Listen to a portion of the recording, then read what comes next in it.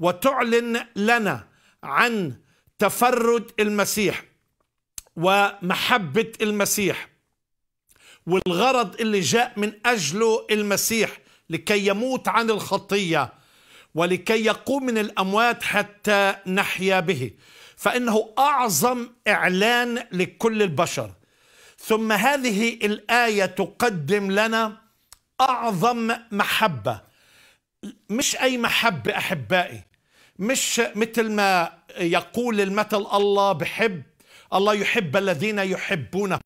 فالمسيح قال إن أحببتم الذين يحبونكم فأي أجر لكم؟ أليس الخطاة يفعلون هكذا؟ طب الناس بتحب شعبها وبتحب اللي من جنسها ومن ملتها ومن ديانتها إيش اللي بيميز؟ ف فبيقول الكتاب عن هذه المحبة أن الكل بحب ولكن المحبة التي يقدمها الكتاب هي محبة نازلة من فوق هي محبة إلهية هي محبة الأجابي محبة غير محدودة محبة غير مشروطة. هذه المحبة المعلنة من خلال يسوع المسيح وتجسدت في يسوع المسيح. أعظم إعلان أعظم محبة ثم هذه الآية تقدم لنا أعظم تضحية حتى بذل ابنه الواحد الوحيد يسوع المسيح. ثم هذه الآية تقدم لنا أعظم عطية في الوجود. الله بذل ابنه الوحيد كلمة الله. وهنا أحبائي أقول لا تفهم غلط. الله لم يلد ولم يولد. الله لم يتزوج زواج. الله ما عندوش صاحبه. مجرد التفكير في هذا الموضوع بالنسبة لنا كمسيحيين يعتبر جحود ويعتبر كفر ويعتبر ضد الله مباشرة.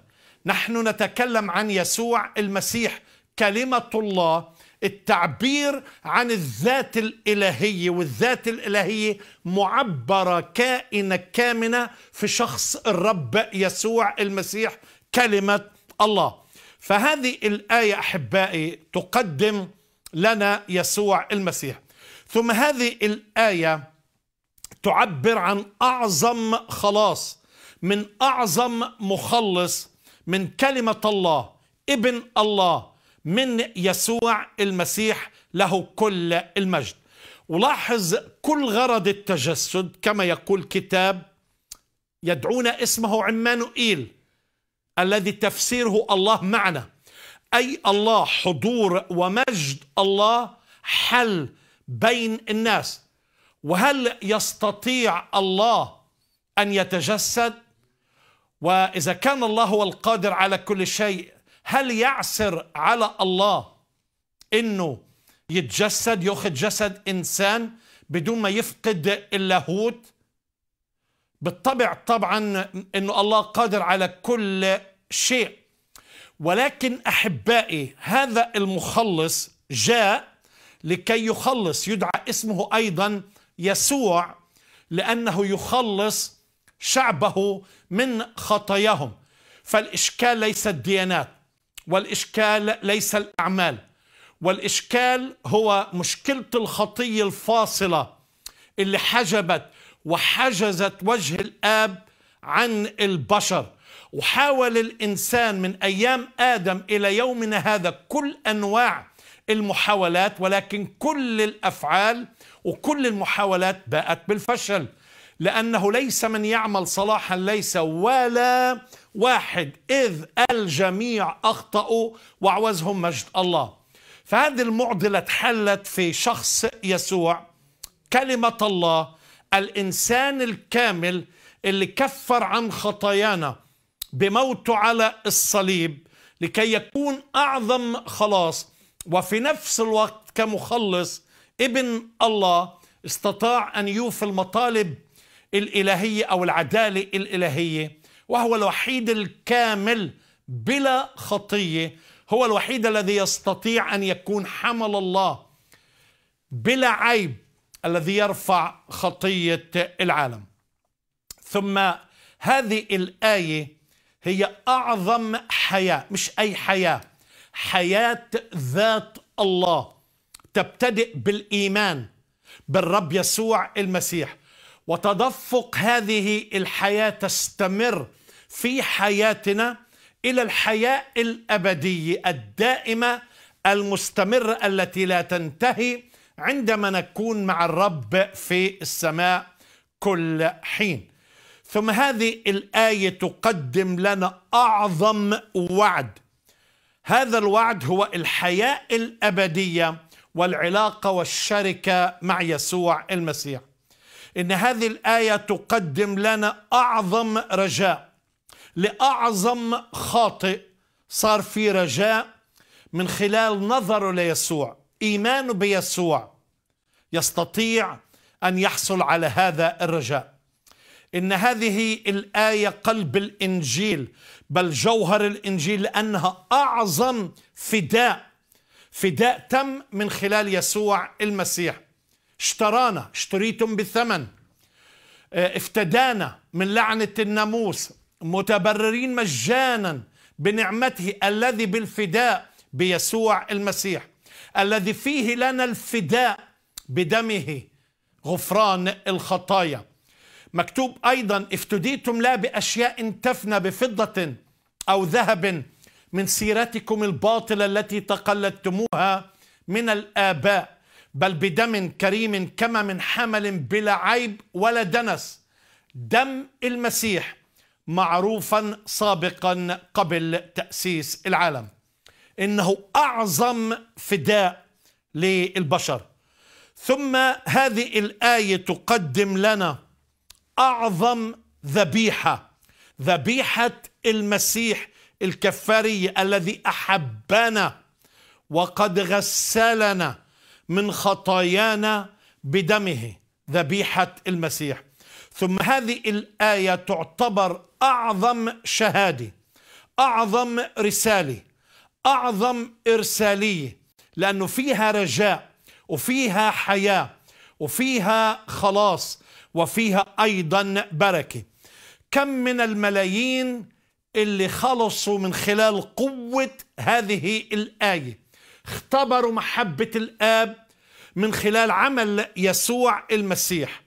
وتغيرت حياتهم فحياتهم أصبحت شهادة وتشهد عن عمل المسيح فينا.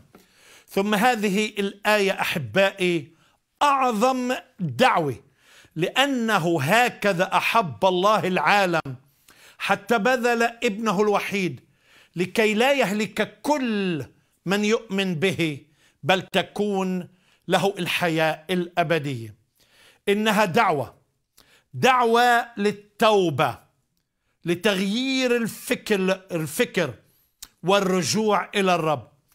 إنها دعوة للإيمان والثقة بما فعله يسوع بموت الكفاره على الصليب وقيامته من بين الأموات. إنها دعوة للحياة الأبدية.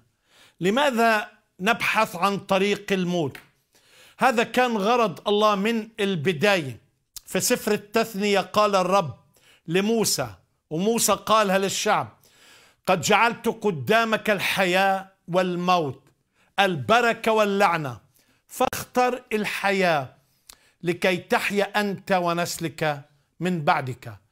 يقول الكتاب عن الشيطان جاء لكي يسرق ويذبح ويهلك. أما أنا قال يسوع أتيت لتكون لهم حياة وليكون لهم أفضل. إنها أعظم دعوة وهي الدعوة موجهة لك الآن. الله يحبك. الله لا يريد أن تهلك بجهنم إلى أبد الآبدين. ولأن الله يحبك يريد أن يخلصك. ولكن في مشكلة المشكلة هي الخطية. فجاء المسيح وعالج مشكلة الخطية. إذ مات على الصليب وقام من الأموات لتبريرنا حتى إن وضعت ثقتك وإيمانك بالرب يسوع مجرد إنك تعترف بخطيتك وتتوب عنها وتقول له يا رب أنا بسلمك حياتي وتعال أملك على حياتي على قلبي. أنت مخلصي. مجرد كلمات بسيطة ولكن تحصل على الحياة الأبدية. إن هذه الآية تقدم لنا أعظم علاج وأعظم شفاء للقلوب المظلمة. إن هذه الآية أعظم اختبار يتم قبل الوصول إلى السماء. إن هذه الآية تقدم لنا أعظم ضمان حياة الله في كل مؤمن تظهر بكمالها إلى الحصول القيامة.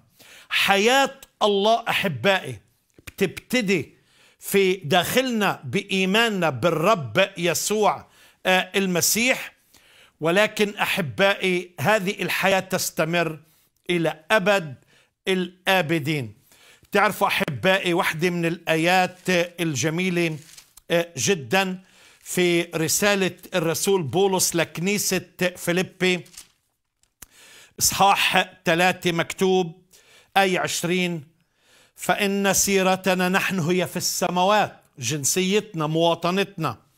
التي منها أيضا ننتظر مخلصا هو الرب يسوع المسيح الذي سيغير شكل جسد تواضعنا ليكون على صورة جسد مجده بحسب عمل استطاعته أن يخضع لنفسه كل شيء.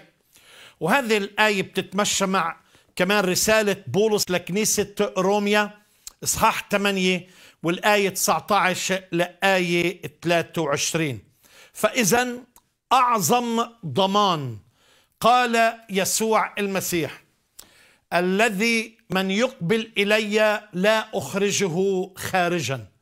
ثم قال ولا يقدر أحد أن يخطفها من يدي. وقال أيضا في يوحنا 5 24 الحق الحق أقول لكم إن من إن من يسمع كلامي ويؤمن بالذي أرسلني فله حياة أبدية له حياة أبدية. ولا يأتي إلى دينونة بل قد انتقل من الموت إلى الحياة. فهذه الآية تقدم لنا الحياة الأبدية تقدم لنا ضمان الحياة الأبدية. إن هذه الآية تعتبر أعظم علاج من سم الخطية. في نفس الإصحاح في آية 14 اقتبس يسوع حادثة في العهد القديم عندما تمرد الشعب على الرب وأرسل الحيات ولدغتهم الحياة. وكثير عدد كبير كان يموت. ولما صرخوا وموسى صرخ للرب قال له اسمع راية حية نحاسية وكل من ينظر إلى هذه الحية يحيا. والرب يسوع قال هذا الشيء عن نفسه. وكما رفع موسى الحية في البرية هكذا ينبغي أن يرفع ابن الإنسان لكي لا يهلك كل من يؤمن به بل تكون له الحياة الأبدية. في العهد القديم كان مجرد النظر بناله الشفاء والحياة ضد الموت. في العهد الجديد أحباء النظر إلى عمل يسوع على الصليب. مشان هيك الشيطان بيكره الصليب وأولاده بيكرهوا الصليب. مشان هيك أحباء الصليب هو العلاج الإلهي العلاج من سم الخطية. ثم أحبائي هذه الآية أعظم أجمل أمثل أكمل خطة للخلاص. في آية واحدة تقدم لنا كل موضوع الخلاص تلخيص مخطط الله للخلاص. من الجلد للجلد موجودة في هذه الآية. ولكن هذه الآية أيضا أحبائي ممكن اليوم تعمل أعظم قرار أعظم اختيار. هكذا أحب الله العالم. فماذا تقرر؟ وماذا تختار اليوم؟ أصلي من كل قلب أنك تختار الحياة تختار يسوع المسيح. أعود بعد هذا الفاصل.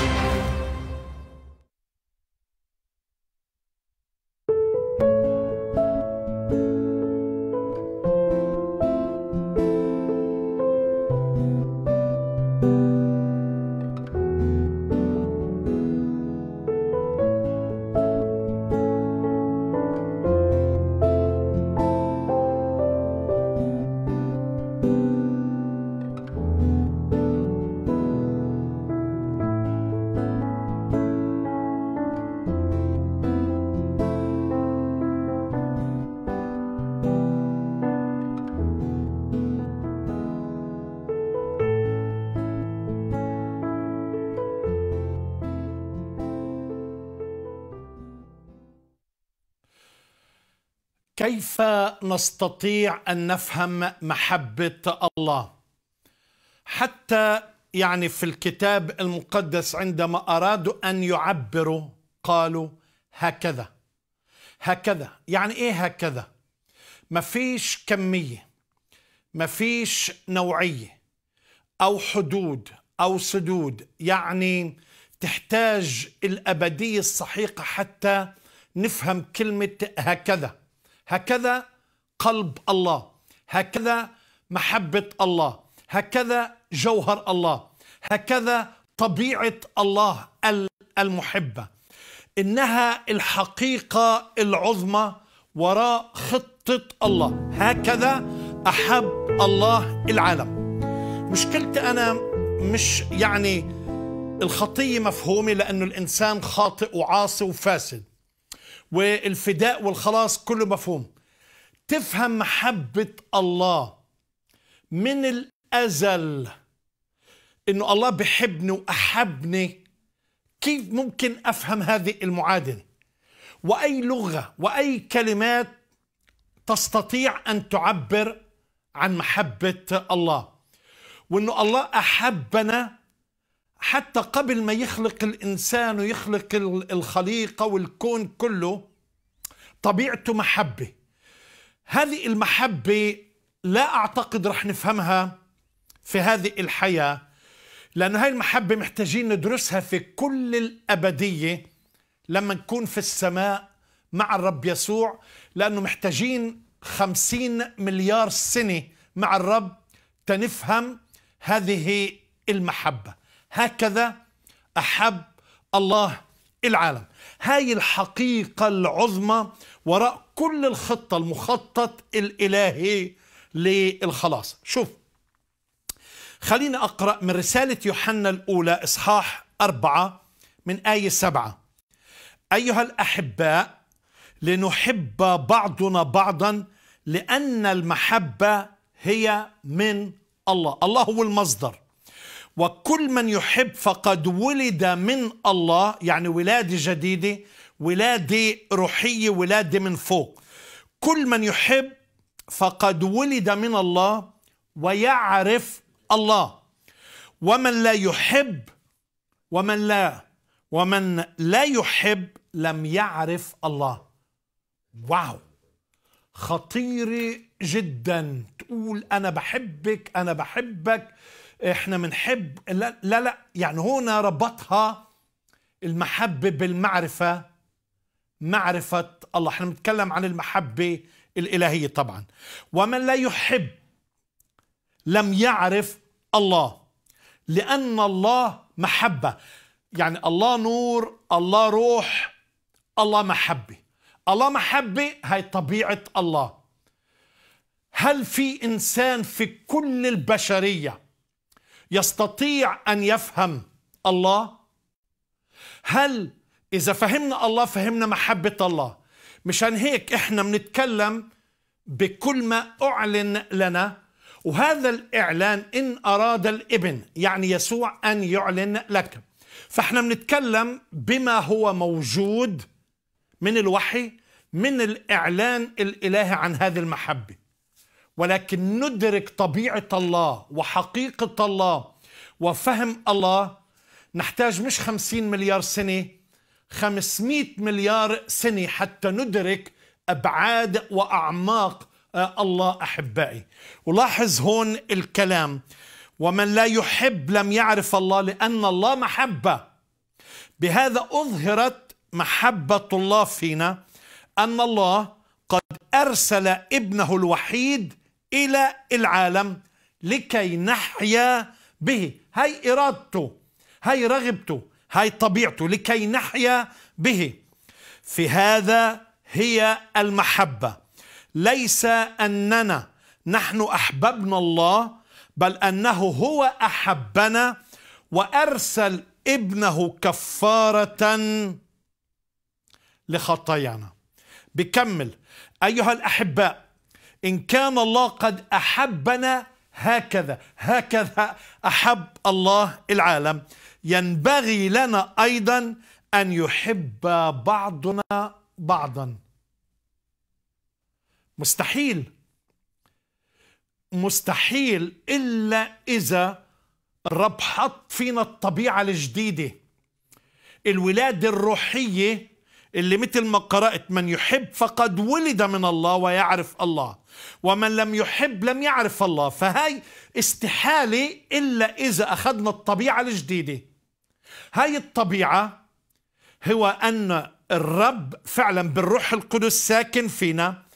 من خلال الروح القدس نستطيع أن نحب الآخرين.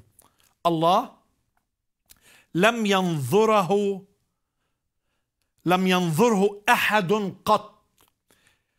إن أحب بعضنا بعضا فالله يثبت فينا ومحبته قد تكملت فينا. بتعرف احبائي بدي أعطيك وظيفة صغيرة. كل اللي بيسمعني مسيحي اولا مسلم درزي بغض النظر شو خلفيتك.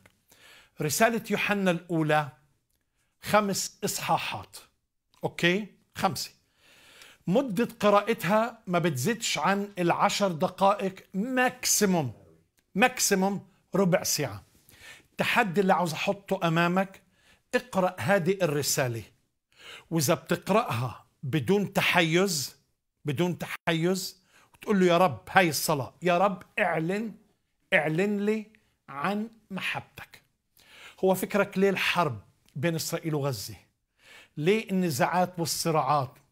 ليه كل اللي عم بصير الكوارث والدنيا قايمة قاعدة في الدنيا؟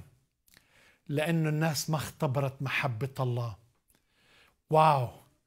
العلاج موجود لكن مثل ما قرأت أحب الناس الظلم أكثر من النور لأن أعمالهم كانت شريرة.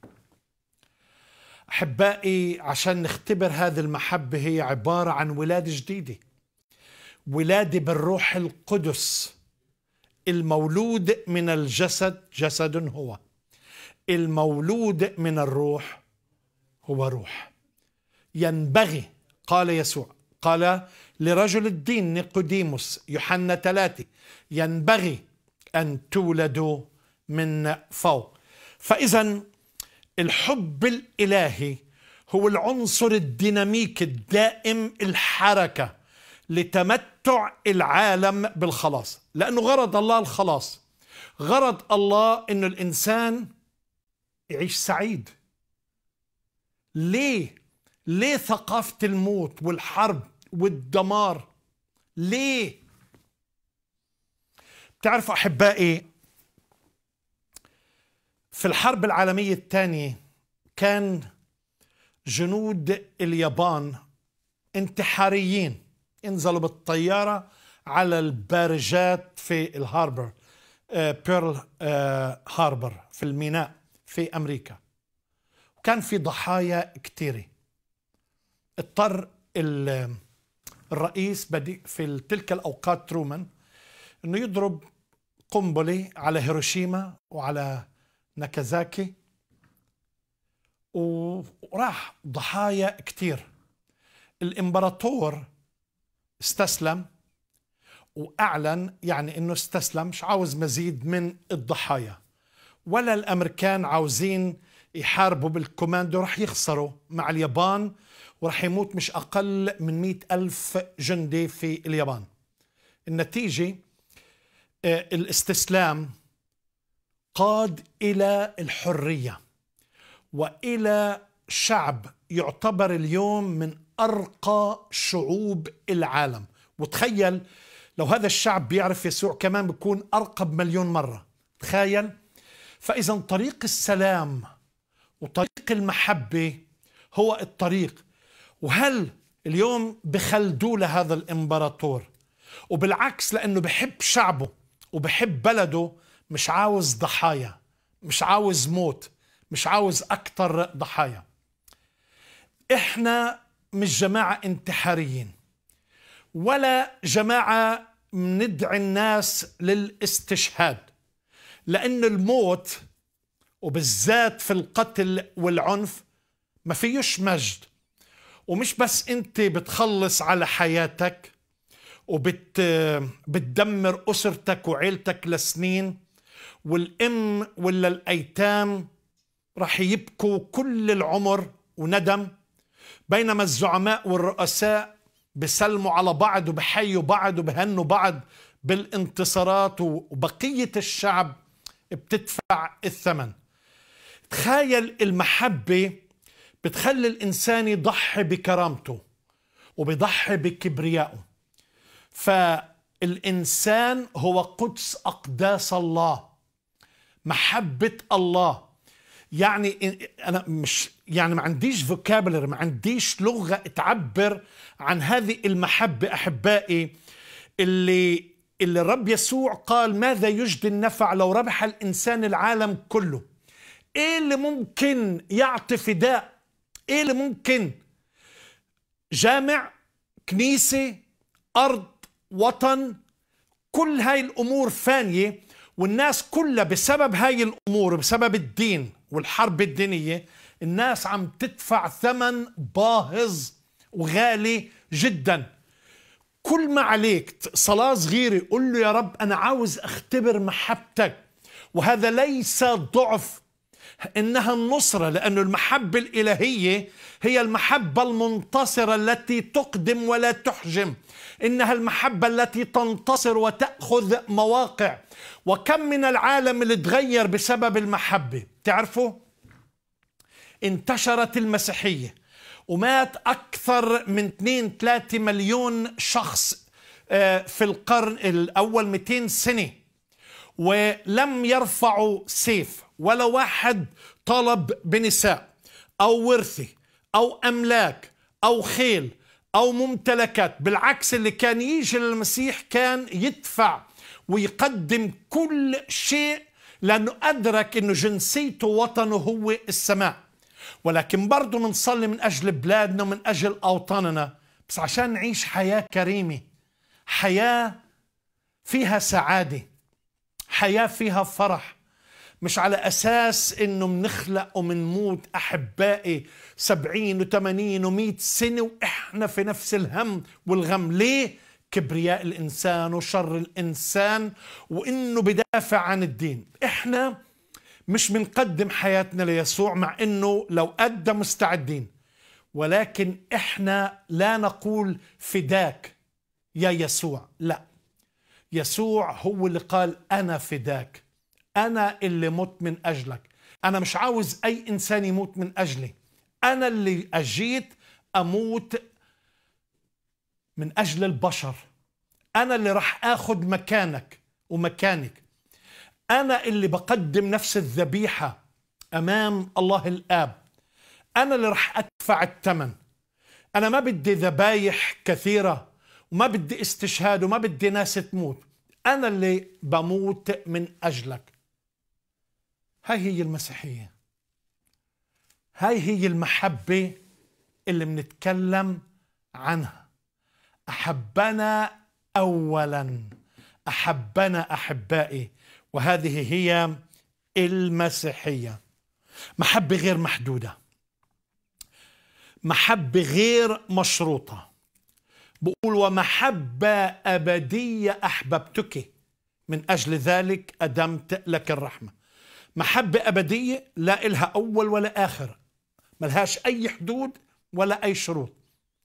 يعني بعبر عنها في العهد الجديد في رومية خمسة آية 8 ولكن الله بين محبته لنا لأنه ونحن بعد خطاة مات المسيح لأجلنا.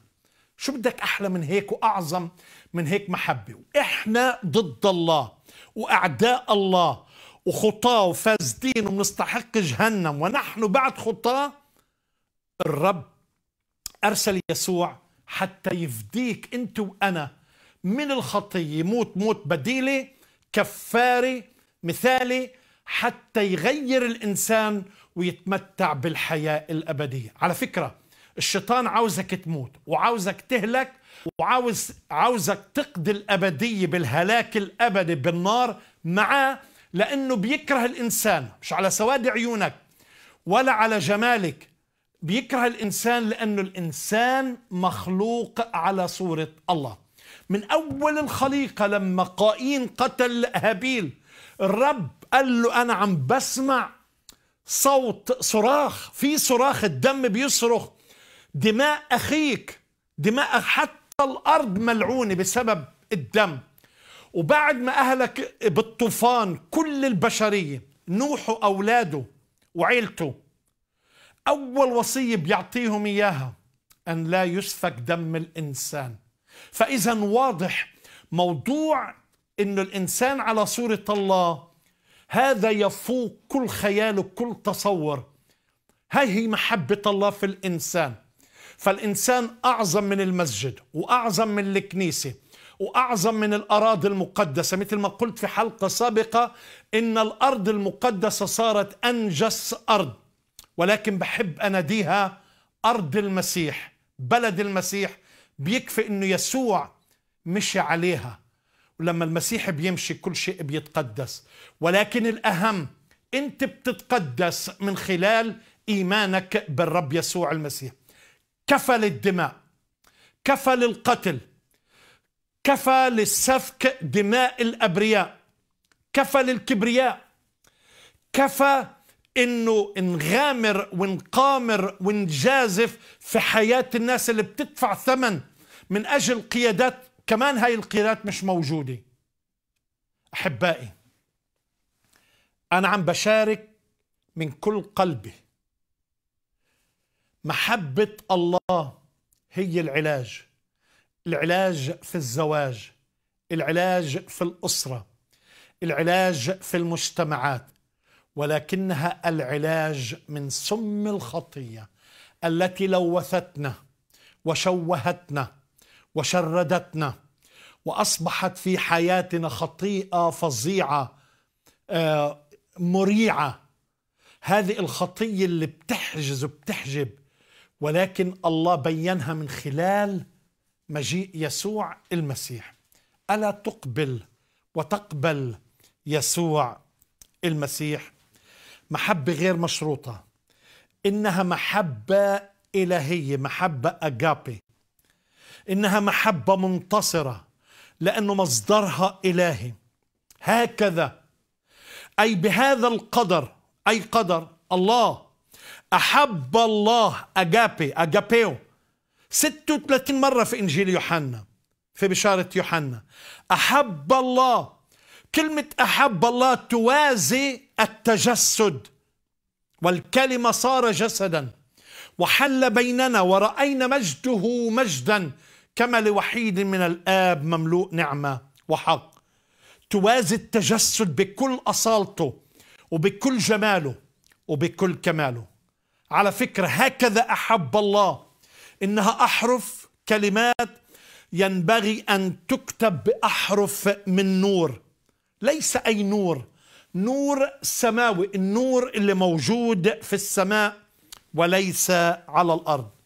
فالله محبة رسالة يوحنا الأولى أربعة ثمانية إنها طبيعته وجوهره تنبثق من نبع غير محدود لأن الرب هو مصدر المحبة. وهو النهر المتدفق من هذه أو لهذه المحبة. فإذا إنها محبة الله. في رسالة يوحنا الأولى إصحاح ثلاثة الآية الأولى والآية اثنين انظروا أية محبة أعطانا الآب حتى ندعى أولاد الله. من أجل هذا لاحظ من أجل هذا بنرجع لنفس الثيم. من أجل هذا لا يعرفنا العالم لأنه لا يعرفه لأنه لا يعرفه. فإذا أحبائي هكذا تؤكد جسامة وأبعاد محبته إنها أجمل صورة للفداء الذي أحبنا وقد غسلنا من خطايانا بدمه. فالله أحبنا محبة أبدية. الله أحبنا قبل تأسيس العالم. الله أحبنا فضلا كما يقول الكتاب. الله أحبنا حتى المنتهى. الله أحبنا أولا. الله أحبنا ونحن بعد خطاة مات المسيح لأجلنا. إنها محبة فائقة ومن كل الجهات سواء الطول والعرض والارتفاع إنها من كل النواحي من كل الجهات.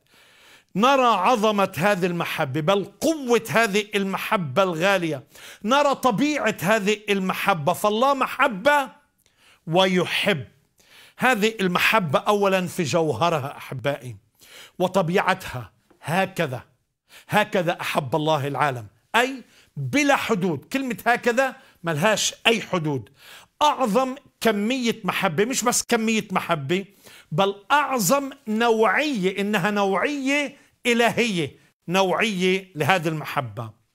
نهر متدفق من ينبوع ومصدر هذه المحبة. ثم هذه المحبة نراها في مداها واتساعها لجميع الخطاة كل من يؤمن به أحب الله العالم. العالم هون الناس العالم الشرير. لكل العالم.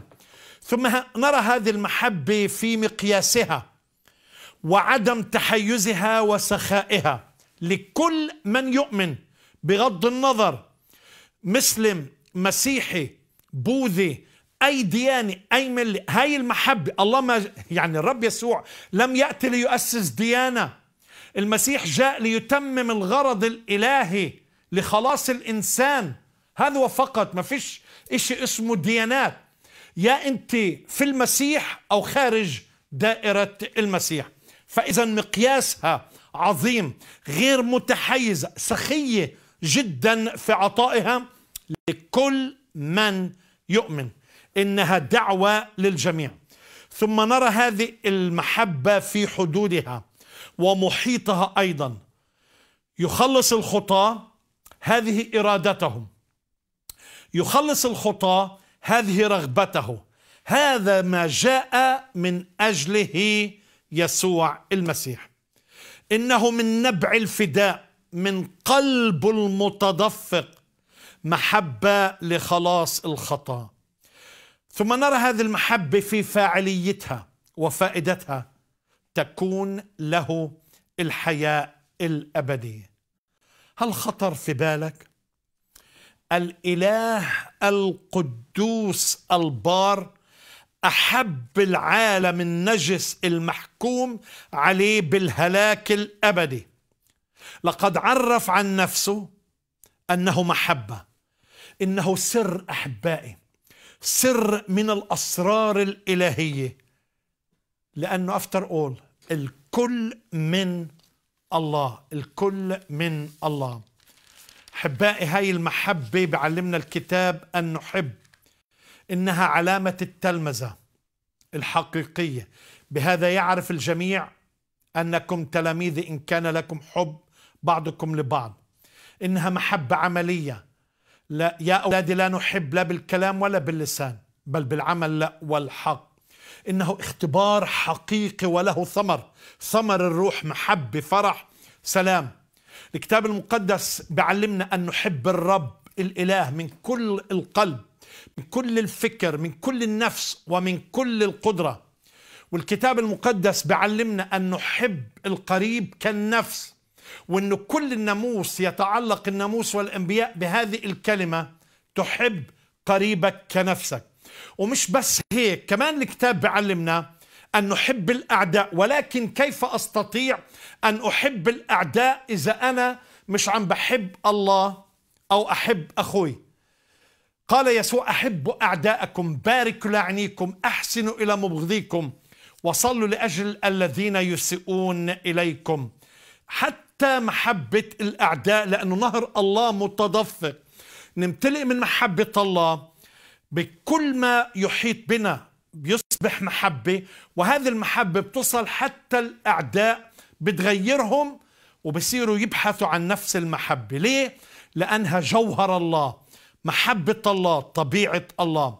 نرى أبعاد هذه المحبة. العالم كله أحبائي هو دائرة محبته. ليس الشعب واحد يحب كل واحد منا كأنه لا يوجد شخص آخر في الوجود غيرك. تخيل يعني الله بحبك محبة شخصية فردية. كما لو أنك أنت الوحيد في هذا العالم في هذا الوجود برضو كلفت دم يسوع المسيح ابن الله كلمة الله إنه يموت من أجلك حتى لا تهلك ويكون لك الحياة الأبدية. هذا الخلاص هو عمل الله الكامل. الله الآب اختارنا فهو مصدر الخلاص.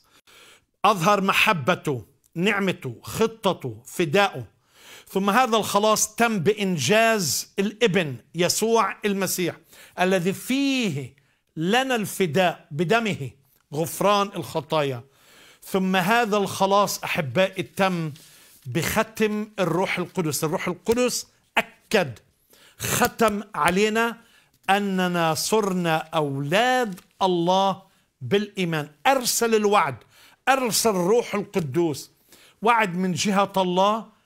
لا يفارق الإنسان بل يسكن فيه الروح ويسقيه الروح ويملأه الروح من نبع الفداء والمحبة والحياة من نهر الله. بذل ابنه الواحد الوحيد المتميز. وهنا الجوهرة التي تزين تاج العهد الجديد. رغم بساطة هذه الآية لكننا نحتاج الأبدية لكي نفهمها ولها أبعاد صحيحة جدا. إنها محبة الله العميقة. بذل ابنه الوحيد والكلمة صار جسدا. عظيم هو سر التقوى. الله ظهر في الجسد. مرتبطه الابن طبعا مرتبطة بمحبة الآب الفائقة لعالم البشر الشرير. أو كما قال يسوع الواهب حياة للعالم. هذا الابن أحبائي هو الإعلان الكامل الإعلان الأخير. أعلن عن أبوة الآب أعلن عن محبة الآب. الله كآب أعظم آب. ثم الإبن يسوع أعظم إبن. إنها عملية الخلاص تبتدئ من المصدر من الآب. وبإنجاز الإبن إذ وقع عليه هذا الموضوع. يعني الله لم يشفق على ابنه بل بذله من أجلنا أجمعين. كيف لا يهبنا معه كل شيء؟ الآب يبذل الإبن. وهذا شيء مهم إنها تمس طبيعة الله الأبوية. فالخطية معادية لله. فرفضك للإبن قبل الإبن يقول رفضك للإبن هو رفضك للآب وطريقة الآب للخلاص. قال يسوع أنا والآب واحد. هكذا أحب الله العالم أعظم صورة للمحبة. بترجعنا للعهد القديم عندما أراد إبراهيم أن يقدم ابنه وحيده على جبل المريا. وقال الكتاب الرب يرى. فمكتوب عن إبراهيم رأى يومي فتهلل. وقال يسوع قبل أن يكون إبراهيم أنا كائن. وإبراهيم مكتوب عنه آمن بالذي يحيي الموتى. ويدعو الأشياء الغير موجودة كأنها موجودة. أعظم ذبيحة ذبيحة المسيح. يعني ذبيحة إبراهيم نموذج الأفصح عن نية الله ماذا سيفعل بالمستقبل؟ ينبغي أن يرفع ابن الإنسان حتى لا يهلك كل من يؤمن به. تركيز على الإيمان. يرفع ابن الإيمان على الصليب وللتمجيد أيضا. فهنا أحبائي النقطة الفاصلة الحاسمة والقاسمة والفاصمة بين الهلاك والحياة بين الدينونة والخلاص بين الموت وبين الحياة مع المسيح. هي الدعوه الثقة بيسوع المسيح. والإيمان به والخضوع له والتكريس له كرب وكمخلص للحصول على الطبيعة الجديدة. هذا هو الإيمان الحقيقي. هكذا أحب الله العالم حتى بذل ابنه الوحيد لكي لا يهلك كل من يؤمن به بل تكون له الحياة الأبدية. لأنه لم يرسل ابنه إلى العالم ليدين العالم بل ليخلص به العالم. وهذه هي الدينونة. إن النور قد جاء إلى العالم وأحب الناس الظلم أكثر من النور لأن أعمالهم كانت شريرة. فماذا تختار؟ محبة الله التي تقودك إلى الحياة الأبدية أو الموت الذي يقودك إلى الهلاك الأبدي؟ الآن أدعو الرب يسوع. قل له أدعوك حتى تكون ربي ومخلصي وأنا بتوب عن كل خطية. أنا بدعوك حتى تجلس على عرش قلبي. وهذا أعظم عيد في هذا اليوم.